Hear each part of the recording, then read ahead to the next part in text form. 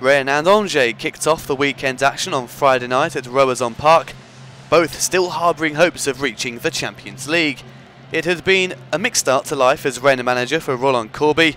He saw his new team win his first match in charge, but pick up just one point in the next three games.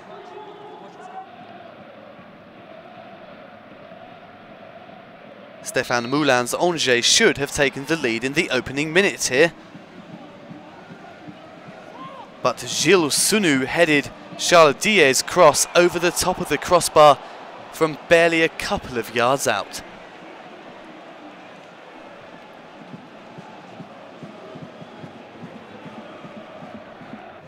Ivorian striker Giovanni Sio appeared to head Rennes in front.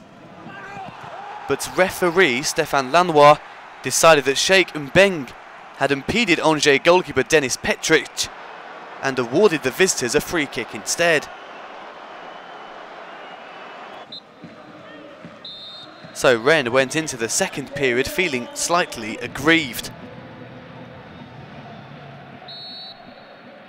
And once again they came close to breaking the deadlock.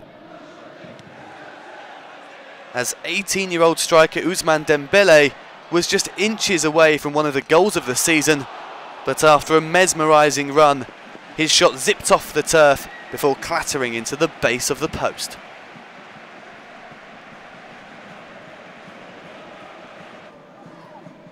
Super sub Kamil Grosicki was given his customary 20 minutes run out.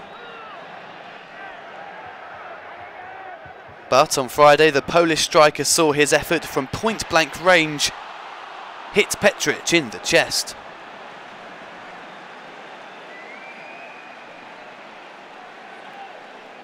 Petric, a recent signing from Troyes after the departure of Ludovic Butelle to Belgium, was keeping Angers in the game.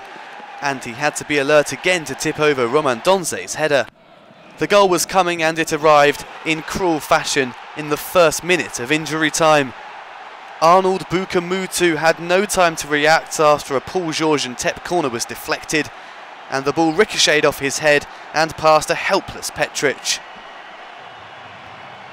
That late own goal giving Rennes a 1-0 win. They are now above Angers in the table, who have suffered three defeats on the bounce.